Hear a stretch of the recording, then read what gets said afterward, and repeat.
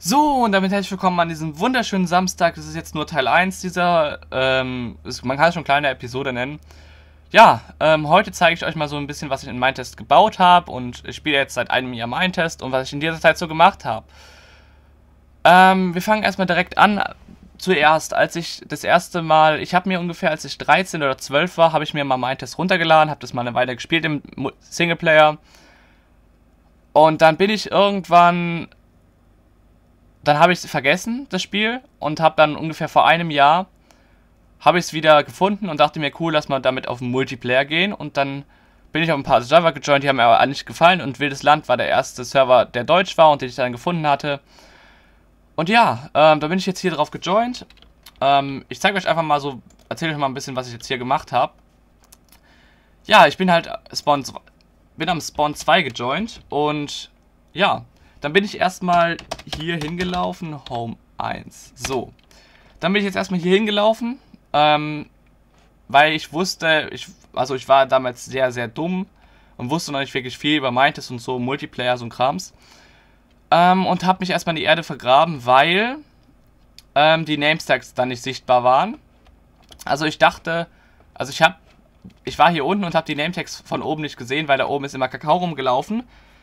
Und ich wollte halt, dass ich erstmal um und äh, ich wollte mich erstmal selbst ein bisschen umgucken und ja, weil PvP auch noch an war, hatte ich da ein bisschen Angst. Deswegen habe ich mich in Ende gegraben, minus 42. Ähm, ja, genau. Ähm, hier unten war ich sicher erstmal vor allen anderen, weil mich keiner gesehen hat, wegen den Nametags. Und ja, hier habe ich erstmal eine Zeit lang gelebt, aber ich bin dann, musste immer mal wieder hochgehen. Und ähm, ja, Genau, ich musste immer mal wieder hoch. Und hier oben ist aber Kakao rumgelaufen. Und hat mich dann gekillt. Dann bin ich am Spawn rejoined, weil ich halt noch von Home und dem anderen Krams halt keine Ahnung hatte. Ja, bin ich halt rejoined und bin hier wieder hergelaufen und da habe ich mich auf dem Weg fünfmal gekillt und dann dachte ich mir irgendwann, okay, nimmst du deine Sachen und haust ab, als er dann vom Server war. Dachte ich mir halt einfach so, haust du ab, okay. Haust du ab. Ähm, dann bin ich ich muss, jetzt muss ich wieder Koordinaten ausmachen, weil da, wo ich jetzt hingehe, das sollte keiner wissen, wo das ist. Slash Home 2. So.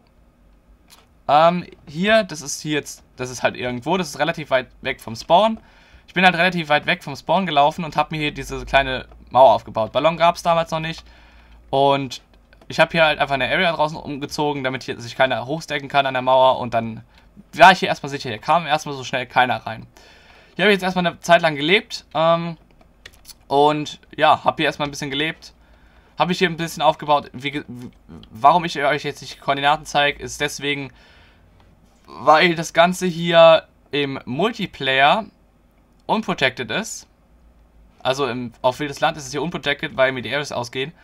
Und das ist eh so weit vom Spawn weg, das findet so schnell keiner. Ich glaube, es weiß auch noch keiner, wo es ist, außer es hat irgendjemand mal gefunden. Und ich probiere halt immer mal wieder mit Mesekons rum und so Krams. Ähm, ja. Hier habe ich mich dann erstmal so ein bisschen gebaut. Hier hatte ich dann allerdings noch keine Area. Und dann, war, ich war noch auf der 0413. Dann habe ich auf die 0414 geupdatet. Und dann kam ich nicht mehr mit meinem alten Account, der damals noch Talk Lounge hieß, aber das L war klein. Das T war trotzdem groß. Äh, und dann habe ich mich halt umbenannt. Ähm, dann habe ich halt großes T, großes L, wie ihr mich jetzt heute kennt. So habe ich mich dann genannt und ähm, hab, bin dann hier wieder hergelaufen und habe hier wieder alles weitergemacht, weil ich auch noch keine Lock Chests und sowas hatte. Das kam dann erst später. Und als ich dann hier, hier habe ich dann eine Zeit lang gelebt, ungefähr so einen Monat oder so. Ich kann mich jetzt auch nochmal an Home, ich glaube war, war es vier oder so, genau. Ich hatte, als ich dann hier gelebt, als ich dann ähm, gelebt hatte halt, ähm, da halt gelebt hatte, wo ich euch eben gerade gezeigt habe, hatte ich dann schon die erste Idee vom Großprojekt, habe versucht eine Jump League Arena zu bauen.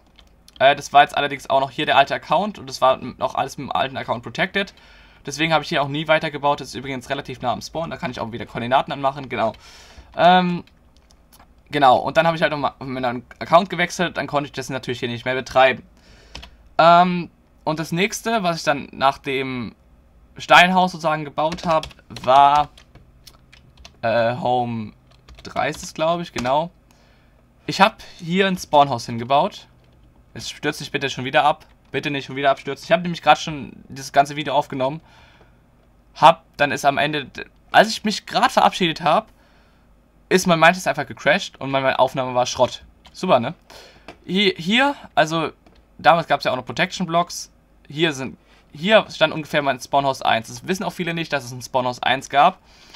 Ja, ähm, hier stand mal mein Spawnhouse 1. Das habe ich hierhin gebaut, weil hier noch Bookies Area war. Bookies Areas waren und so ein Krams. Ähm, das hat er dann später alles mir gegeben.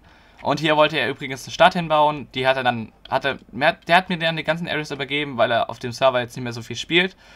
Und ich habe dann hier, ähm, habe ich dann hier mein Spawnhaus hin, habe ich mein Spawnhaus hier abgebaut und habe das dann hier hingebaut. Das kennt jetzt jeder und ähm, das muss ich euch auch nicht groß zeigen.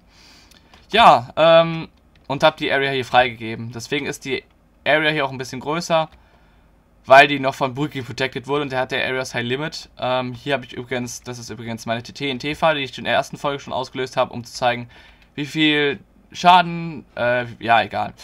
Ähm, was für einen großen Ausmaß an wie viel TNT ich da drin habe und dass du dann instant gekillt wirst, wenn du versuchst, meine Mine dich zu hacken. Ja, ähm, dann gehen wir jetzt mal Home 4. Da, also ich habe ein Spawnhaus gebaut und dann bin ich irgendwann umgezogen. Home 4 ist einfach das hier. Alles klar, da war ich einfach schon so Home 5. Genau. Ähm, ich habe nämlich... Ah, alles klar, ich scheiß Dirt Monster. Habe ich, habe ich... Ja, ich habe. Gut. Ähm, ihr könnt mir nichts. Dann habe ich also, als ich im neuen Account da war, dann habe ich und noch im Steinhaus gewohnt habe, habe ich jetzt erstmal angefangen, die Jump League Arena neu zu bauen. Das habe ich aber, dieses, dieses ganze Projekt hier habe ich erst fertiggestellt im letzten, letzten Jahr ähm, vom Hochsommer. Und es ist hier einfach eine Jump League Arena, wo zwei gegeneinander spielen können. Ist auch nicht wirklich interessant, könnt ihr euch auch alles angucken. Die meisten Sachen sind im Kompass und wo die Sachen, die nicht im Kompass sind, äh, seht ihr die Koordinaten jetzt und könnt ihr da hingehen. Und wo ihr die, nicht die Koordinaten habt und es auch nicht im Kompass steht, da will ich auch nicht, dass ihr hinkommt. Deswegen zeige ich euch das nicht. Ja, ähm, also sage euch nicht die Koordinaten. Das habe ich jetzt hier, das war mein nächstes Großprojekt, was ich jetzt so gebaut hatte. Ja, äh, das habe ich dann, also das, ich habe mehrere Sachen hinter, äh, während gleichzeitig sozusagen gebaut. Mein nächstes Großprojekt, was ich dann gebaut hatte mit NeleTO und Ding, war der Lavabadesee, der ist auch im Kompass. Ähm, das ist hier einfach ein Lavabadesee, da haben Nele, Theo und Elias gemeint ähm, und haben dann hier auf diesen, sind auf diesen Lava-See gestoßen. Und dann haben wir hier zu dritt, also die hatten es mir dann erzählt, und dann haben wir hier zu dritt, äh, haben wir jetzt hier einen Lava-See. Ich muss mal Haar ausmachen und Flugmodus an. Kann ich euch auch mal kurz zeigen. Es ist eigentlich sinnlos, wenn ich euch das alles zeige. Hier sind ein paar Shops. Das sind, hier sind es übrigens die gleichen Shops wie am Lava, äh, Lava Badesee 2, den wir dann später gebaut hatten. Also das, den Krams kann man hier jetzt kaufen. Ähm, hier ist, das muss ich mal anmachen, hier ist noch ein Streicherzoo für Tiere. Die büchsen allerdings immer aus und verschwinden irgendwie seltsamerweise immer. Deswegen, hier komm, ich nutze jetzt einfach die Tür hier, Alter. Das ist, dafür ist es doch da. Ja, oder so kann man es auch machen. Ah, alles klar. So, ähm, dann haben wir jetzt hier noch eine Achterbahn. So eine schöne kleine Achterbahn. Ja, genau, eine kleine Achterbahn. Und ja, ähm, Genau, das ist einfach der Lava-Badesee 1. Wie gesagt, den Film auch im Kompass und alles mögliche. Jetzt gehe ich mal zur Home 7. Ich preise jetzt trotzdem noch in 15 Minuten durch, durch hier 20 Minuten sowas. Muss ich gar keinen äh, Teil 2 machen. Das ist hier der... Ich teleporte mich nochmal kurz in Home 3. So. Ähm, was ihr hier seht, ist meine 1000 Meter Plattform. Und wenn du hier hoch gehst, dann bist du an Home 7. Willst du mich verarschen? Willst du mich verarschen? So, jetzt. Habe ich aus. Man kommt jetzt also hier hoch. Hier ist das hochgekraxelte Ding. Äh, man kann hier entweder runterspringen oder man kann hier, kommt hier natürlich auch auf die Plattform drauf. Ähm, ja. Genau, jetzt muss ich erstmal hier hochfliegen. Hier haben schon einige Leute gebaut und das ist auch ganz nett geworden, dass die Leute hier gebaut haben. Ja, ähm, genau. Das ist recht cool, was die Leute hier so gebaut haben. Und ja, ähm, wer hier ja auch oben bauen will, der muss mich halt verfragen, den lasse ich dann hoch und genau. Ich zeige euch mal kurz, wer hier alles gebaut hatte. Das ist von Nele TO, das ist von Alep hier, das ist von M-Boy 30, das ist hier von Endergirl oder Little Big. Hier ist von Stoneman. Ich glaube, hier kommt nichts mehr. Doch, hier hat NT34 oder 43 gebaut, die wurde aber gebannt. Ähm, und hier hat Martin gebaut. Dann haben wir jetzt hier noch von Emil Gomme sein Haus. Dann haben wir jetzt hier von Palpatine sein Haus. Snorksor hat hier gebaut. Äh, Florian23, der war auch schon lange nicht mehr am Server, hat hier auch gebaut. Und ich glaube, das war es auch schon. Genau, auf der Seite war es das. Dann hat jetzt hier noch Flemmy gebaut. Das ist hier von Flemmy. Das ist hier von Jujul, also Arena-Meister. Das ist hier von Anakin. Und hier hat noch Bio gebaut. Das ist alles so, was er gebaut hatte. Ja, ähm... Ja, es gibt übrigens noch einen weiteren Teil. Hier ist das Imperium. Das hat jetzt Elias aufgebaut. Palpatine und so haben hier was gebaut und ähm, das sozusagen, ja, also ich habe Elias halt auf die Plattform gelassen, da gab es auch keine Regeln, wie man da, äh, wann man sozusagen auf die Plattform kommt, äh, unter welchen bestimmten Bedingungen man da zustimmen muss. Und dann hat halt einfach Elias, äh, dann hat er Palpatine und Ding hier hergelassen und die haben dann halt einfach hier was gebaut. Einfach nur diesen Sternzerstörer, dann hat Elias noch diesen, keine Ahnung, was das hier ist, gebaut und da hinten haben sie auch noch irgendwas gebaut, keine Ahnung. Ähm, ja. Ähm, und Elias hat es dann so freut, weil er weil er mal wieder Lust hatte weiterzubauen, hat es jetzt hier schön verschönert.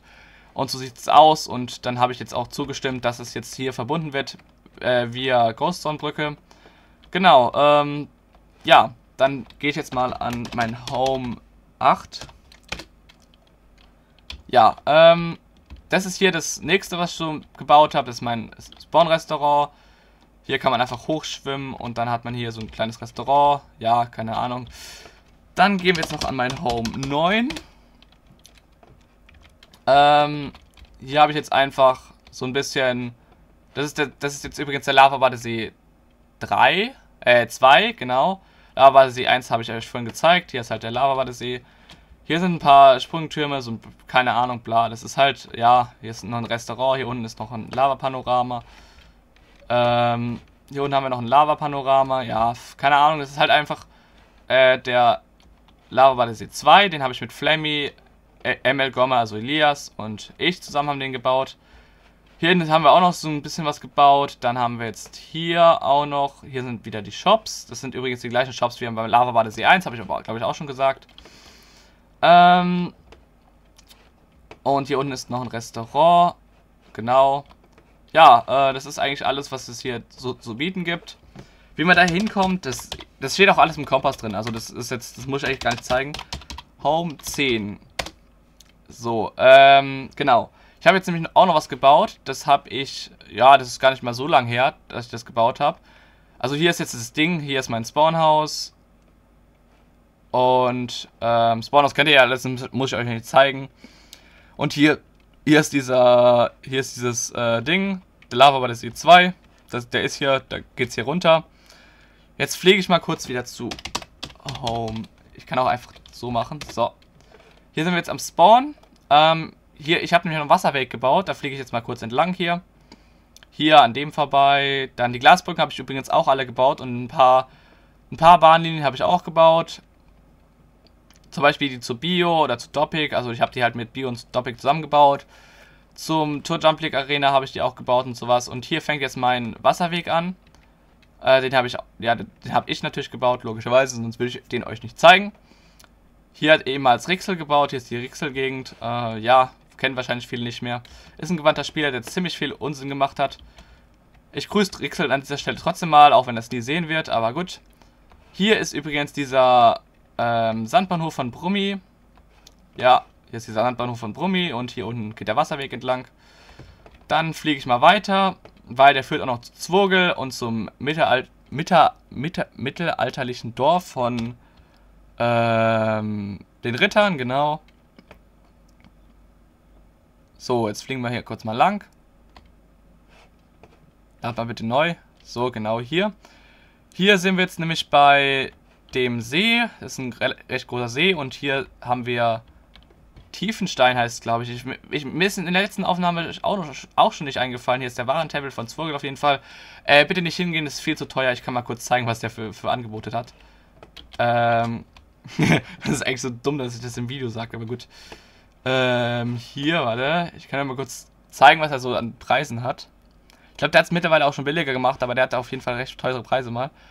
Also, ein Copperlump für 8 Glas. Was haben wir hier noch? Ein Gold für 32 Glas Ein Copper für... Also das ist echt witzlos, was er hier verkauft. Ähm, muss jetzt auch mal kurz hier hochfliegen. Der verkauft ja auch noch andere Sachen. Was ist das denn hier eigentlich? Ist auch scheißegal. Also der hat... Der... Ist scheißegal, was der hier verkauft. Ähm... Ja. Der ist recht teuer. Also manche Sachen sind auch billig, aber das ist einer der teuersten Shops mit Hektik zusammen. Grüße gehen an dieser Stelle auch an Hektik. Ähm, so, ich weiß gar nicht, hier ist halt dieses Tiefenstein-Bla-Ding. Das heißt doch Tiefenstein, oder? Ich weiß es gar ich bin mir gar nicht sicher, was ist, steht es hier irgendwo? Ja, das heißt Tiefenstein, genau. Hier ist auch noch irgend, alles was, klar, was ist denn das? Lol, kenne ich ja auch noch gar nicht. Alles klar, was ist das? Wo geht das hin? Ist jetzt auch scheißegal eigentlich. Geht jetzt hier irgendwo hoch. Alles klar, ach so, das geht jetzt hier. So Zwurgels ähm, Haus, was er hier gebaut hat, ist auch ein leicht übertrieben, kann es sein. Kann das sein, dass es ein bisschen übertrieben ist? Also, also ich meine, ein Haus bauen schön und gut, aber also, ja, ist halt krank. Ich werde übrigens noch eine äh, Server-Show, also so ein wildes Land-Trailer sozusagen hochladen. So wildes Land, das werde ich auch noch zu anderen Servern machen, aber ja, genau. Ähm, ja, ähm, mir fällt gerade wieder ein, was, was für ein Video morgen kommt. Dann fliegen wir mal schnell geschwind zu Home 11. Was war Home 10? Ah ja, genau, dieser Wasserweg. Nee, der Wasserweg geht jetzt hier noch weiter. Den wollte ich, den wollte ich euch noch. Äh, wo war denn der jetzt hier? Ah ja, genau, hier. Der geht nämlich noch weiter. Den wollte ich noch zeigen, wo der noch hinführt. Äh, fliege ich jetzt mal kurz hier entlang. Das dauert jetzt ein Weilchen, bis ich da da bin. Ja, dauert ein Weilchen, bis ich da hingeflogen bin. Ja, äh, und ich sollte mir vielleicht auch mal ein paar Äpfel geben. Give me the fault. Doppelpunkt Apple. 10. So. Sonst verhungere ich hier. Äh, fliegen wir mal weiter. Hier kreuzt übrigens die Bahnlinie zu Munkamensburg ein paar Mal meine, mein Wasserweg hier.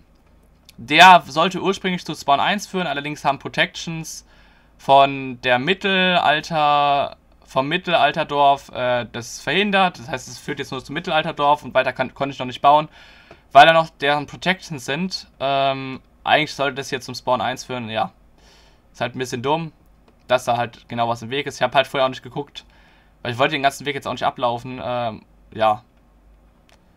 Das ist auf jeden Fall recht lang. Ich glaube, der ist zwei oder drei Kilometer lang, dieser Wasserweg hier.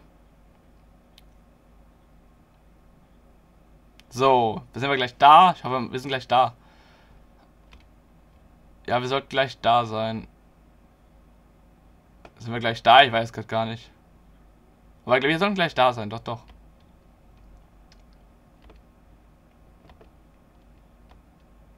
Sind wir gleich da? Hä? Geht es hier? Achso, jetzt hier. Genau hier kann man sich hochshift mit dem Shift-Bug. Äh, und hier ist halt dieses Mittelalterdorf von den Rittern. Ja, keine Ahnung, bla, das ist halt langweilig. So, teleportiere ich mich nochmal an Home 11. Ach so, das ist genau das letzte, was ich gebaut habe. Das ist auch ein Kompass. Ähm, ja, das ist einfach eine riesige Pyramide. Eine aufgestapelte Pyramide. Ähm, ja. Da habe ich meinen ganzen Kobbel verbaut. Ich habe jetzt nur noch eine Kiste Kobbel. Ja, hier habe ich einfach meinen ganzen Kobbel verbaut. Das ist ungefähr 100 mal 100 mal, also, also wenn man jetzt hier, ja, leck halt noch mehr, lol. Wenn man jetzt hier steht, dann hat es in jede Richtung einen Radius von 50 Metern. Äh, so groß ist das Ding. Hier ist halt diese äh, Schiffsschaukeln, wie man sie im Freizeitpark kennt, habe ich hier mit Minecarts gebaut. Ja, äh, habe ich noch in Home 12. Ne, habe ich nicht. Okay, das heißt, ich teleporte mich wieder an den Spawn. Ich weiß gar nicht. Ich glaube, das war Home 10, oder? Ja. Hier bin ich wieder am Spawn, genau da, wo ich angefangen habe. Ich kann auch noch mal kurz hier in mein Spawnhaus rein, obwohl das kennt ihr alles, das muss ich euch nicht wirklich zeigen. Ja, ähm, genau, ähm, ja. Ich hoffe, dieses Video hat euch gefallen und ja, ähm, ich werde es jetzt wohl doch nicht auf zwei Teile aufsplitten, weil, obwohl, Nee, ich lasse es, glaube ich. Ja, dann muss ich mir, genau, um 15 Uhr heute kommt nochmal ein Video und ja, genau, das, das war's jetzt soweit und ja, ich hoffe, dieses Video hat euch gefallen und dann danke fürs Zusehen und ja, tschüss.